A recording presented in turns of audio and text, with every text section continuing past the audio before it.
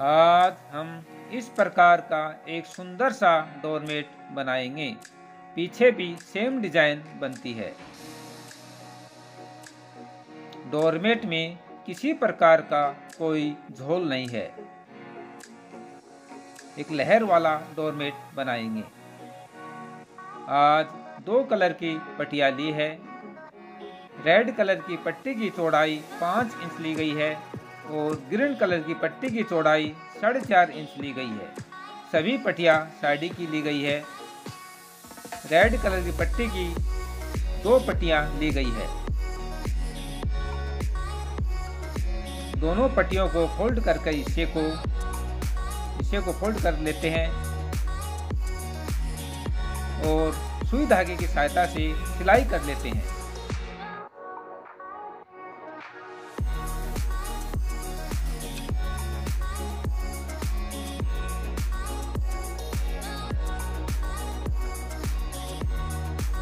साड़ी की लंबाई के अनुसार पट्टियों को कैंचे की सहायता से काट लेते हैं?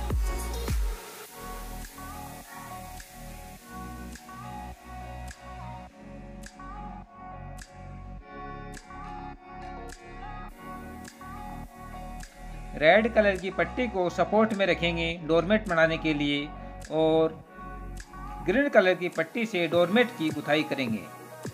रेड कलर की पट्टी पर सिक्स नोट लगाकर एक रस्सी की गुथाई कर रहे हैं। वीडियो रिकॉर्डिंग के अनुसार।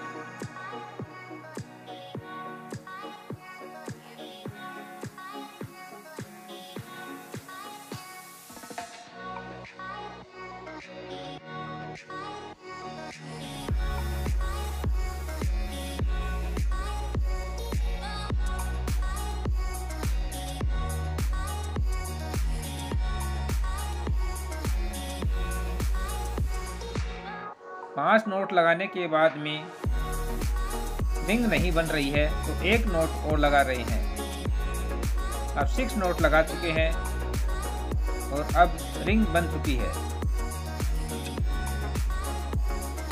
अब पहला राउंड शुरू हो रहा है और पहले राउंड में एक फंदे में दो फंदे निकाल रहे हैं। ये पहला फंदा निकाल चुके हैं। उसी में से दूसरा फंदा निकाल रहे हैं।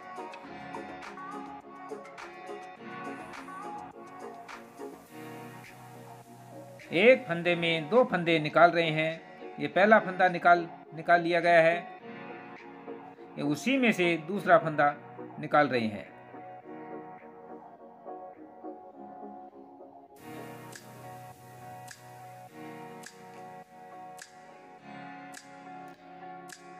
ये साड़ी मार्केट में एक बूटे फ्लोर वाली नाम से जानी जाती है।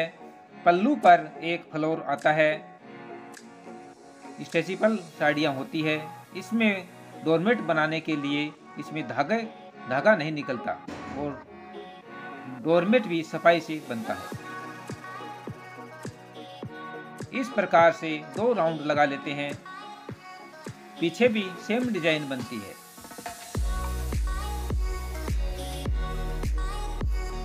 अब इस राउंड में एक फंदे में दो फंदे निकाल रहे हैं और बीच में एक फंदे को छोड़ते हुए डोरमेट में डिज़ाइन बनाने के लिए।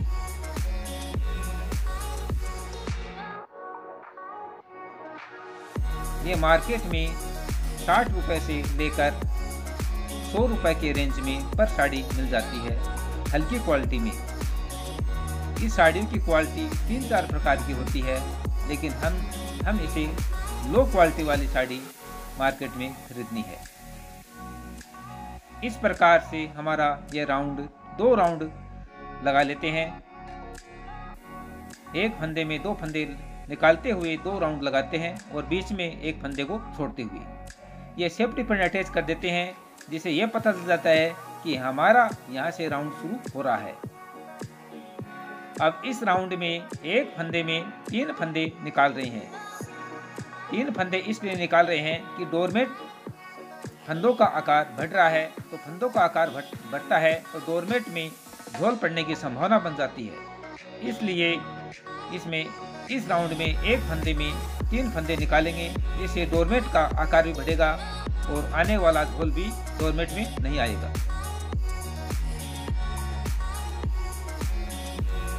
प्रकार से तीन राउंड लगा लेते हैं। एक फंदे में तीन फंदे निकालते हुए तीन राउंड लगा लेते हैं।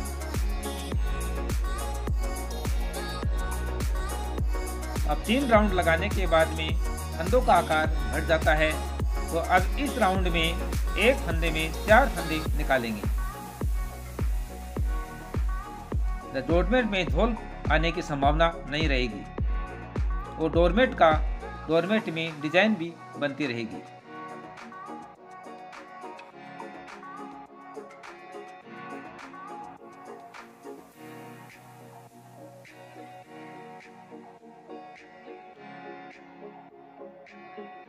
इस प्रकार से तीन राउंड लगा लेते हैं। अब नेक्स्ट राउंड लगाएँगे तो एक फंदे में पाँच फंदे निकालेंगे। आगे इसी नियम के अनुसार जैसे जैसे फंदों का आकार बढ़ेगा तो फंदों का फंदा बढ़ाते रहेंगे।